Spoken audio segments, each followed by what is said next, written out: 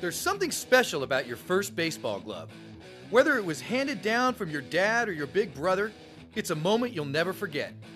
Major League Baseball stars are no different. They too remember receiving their first glove as if it was yesterday.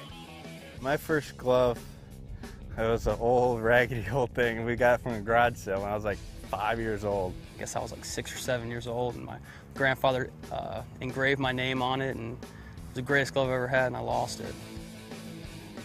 As a little kid, I mean, you're so excited, especially to get a new glove, and uh, you're gonna tote it around, you're gonna wear it, you're gonna throw balls in it, you're gonna sleep with it, and it just be all, all suddenly it just becomes a part of you.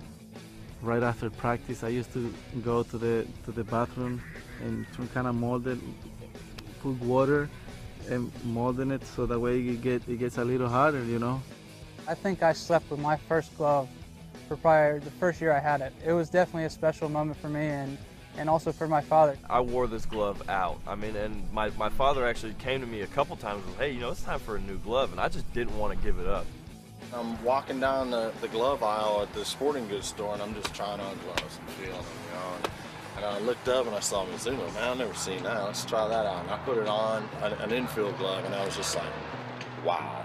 That was my first like major quality, you know, piece of leather that my dad kind of opened his wallet up a little bit and was was able to buy me a nice glove.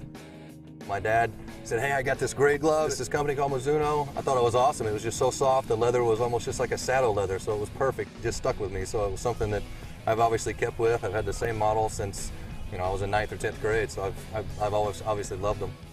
To me, I remember the smell of the glove, and I still have it, and I've actually got it on the wall at, at home.